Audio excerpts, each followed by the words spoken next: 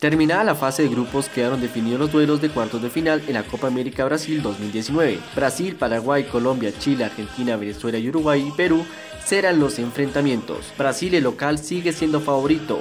Uruguay avanzó tras superar un duro rival Chile en el último partido. Colombia, que hizo una primera fase perfecta, busca revalidar su buen momento. Argentina quiere demostrar que no hay crisis, pero al frente tendrá una selección venezolana en su mejor estado de forma. Paraguay tiene que espejar las dudas y Perú se quiere sacudir la humillante goleada que sufrió ante Brasil. Ecuador, Bolivia, Qatar y Japón se despidieron del torneo. En TV Noticias que Casanare les presentamos los partidos de los cuartos de final. Brasil se enfrenta a Paraguay el jueves 27 a las 7 y 30 de la noche. Venezuela enfrentará a Argentina el viernes 28 a las 2 de la tarde. Colombia se enfrentará a Chile el viernes 28 a partir de las 6 de la tarde. Y la selección de Uruguay enfrentará a Perú el sábado 29 desde las 2 de la tarde.